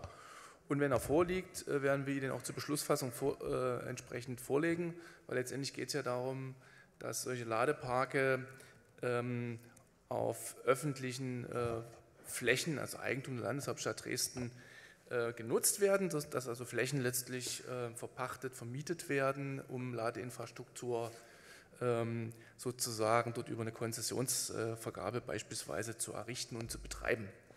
Jenseits beispielsweise von, den, von Tankstellen oder eben in teilöffentlichen Räumen wie Supermärkten oder eben im privaten. Bisher ist die Ladeinfrastruktur, die ähm, an den Mobilpunkten entstanden ist, zu 100 Prozent im Rahmen eines Förderprogramms gefördert wurden. Ähm, und die Zahlen, die Sie jetzt nannten, wie viele Elektrofahrzeuge wir brauchen äh, bis 2030, äh, beziehungsweise im Folgenden, das sind Zahlen, die mal hoch skaliert haben, was es bedeuten würde, die Klimaschutzziele, die der Stadtrat beschlossen hat, beziehungsweise wo der Bundesgesetzgeber den Rahmen gibt, äh, zu erfüllen.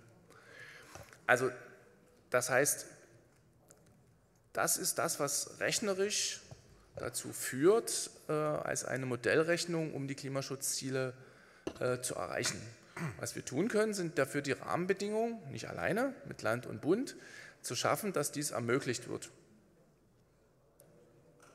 Okay. Ich danke für die Ausführungen. Schönen Dank. Damit haben wir den Top 3 abgeschlossen.